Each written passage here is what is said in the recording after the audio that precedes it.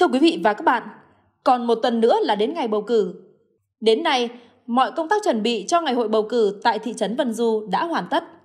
Đông đảo cử tri cư trú trên địa bàn thị trấn rất tin tưởng và đã sẵn sàng cho cuộc bầu cử đại biểu Quốc hội khóa 15 và đại biểu Hội đồng Nhân dân các cấp,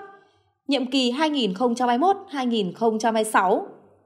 Những ngày này, tại các trung tâm nhà văn hóa khu phố, nơi niêm yết danh sách ứng cử viên đại biểu Quốc hội khóa 15 và đại biểu Hội đồng Nhân dân các cấp, cử tri các khu dân cư tại thị trấn Vân Du lại tranh thủ thời gian để đến tìm hiểu thông tin về những người ứng cử, để từ đó lựa chọn những đại biểu tiêu biểu về phẩm chất chính trị, năng lực công tác, xứng đáng đại diện cho ý chí nguyện vọng của mình bầu vào Quốc hội và Hội đồng Nhân dân các cấp, nhiệm kỳ 2021-2026. Thì chúng tôi cũng rất là vui mừng phấn khởi Ờ, và đối với bản thân tôi với trách nhiệm của một người bí thư chi bộ trưởng khu phố thì tuyên truyền vận động bà con nhân dân không những tham gia bầu cử đại biểu quốc hội và hội đồng nhân dân các cấp mà còn vận động bà con nhân dân mình lựa chọn những người đủ đức đủ tài và bầu cử phải đúng cơ cấu thành phần.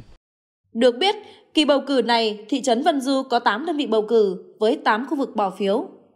Sau hiệp thương lần thứ 3, Ủy ban bầu cử thị trấn Vân Du đã lập danh sách chính thức giới thiệu 43 người ứng cử viên để cử tri bầu 26 đại biểu vào Hội đồng Nhân dân thị trấn, đảm bảo cơ cấu thành phần. Mọi công tác chuẩn bị về trang trí, cơ sở vật chất phục vụ cuộc bầu cử đã cơ bản thực hiện xong theo đúng quy định.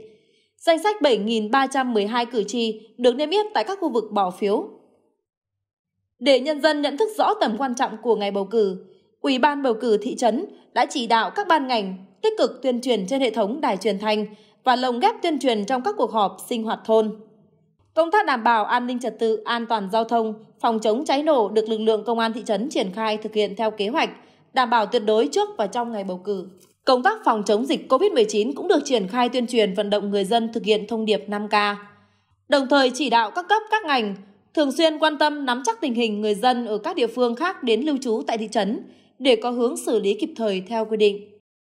Còn à, trong vòng có một tuần nữa là đến ngày à, bầu cử đại biểu Quốc hội và Hội đồng Nhân dân à, các cấp nhiệm kỳ 21-26 thì Ủy ban bầu cử thị trấn Vân Du đã tập trung chỉ đạo cho các ban bầu cử, các tổ bầu cử. Thứ nhất là về cái công tác tuyên truyền, rồi là từ công tác trang trí, công tác vệ uh, sinh môi trường, đặc biệt là quan tâm đến cái việc là niêm yết danh sách cử tri, rồi là tiểu sử các ứng cử viên uh, đại biểu Quốc hội, Ờ, Hội đồng Nhân dân tỉnh, Hội đồng Nhân dân huyện và Hội đồng Nhân dân thị trấn để cho cử tri được ờ, nghiên cứu tìm hiểu trước. Và đặc biệt là về cái hệ thống truyền thanh thì cũng đã à, qua cái hệ thống truyền thanh thì cũng đã tuyên truyền ờ, đến các cái ứng cử viên đọc tiểu sử tóm tắt cho các ứng cử viên trên hệ thống truyền thanh để nhân dân biết. Và À, trong cái công tác tuyên truyền này thì cũng đã chỉ đạo cho các khu phố làm tốt các cái nội dung tuyên truyền để cho cử tri biết à, rõ nội dung thời gian cái ngày bầu cử đại biểu quốc hội và hội đồng nhân dân để cho cử tri à, tham gia đầy đủ cái quyền và cái nghĩa vụ của cử tri để làm tốt à, cái công tác bầu cử à, đại biểu quốc hội và hội đồng nhân dân à, các cấp nhiệm kỳ 21-26. Với sự chuẩn bị chú đáo và sự chủ động trong việc thực hiện các kế hoạch phục vụ cho ngày bầu cử, cử tri thị trấn Vân Du tin tưởng ngày bầu cử sắp tới sẽ thành công tốt đẹp và thực sự có ý nghĩa đối với toàn thể nhân dân trên địa bàn thị trấn.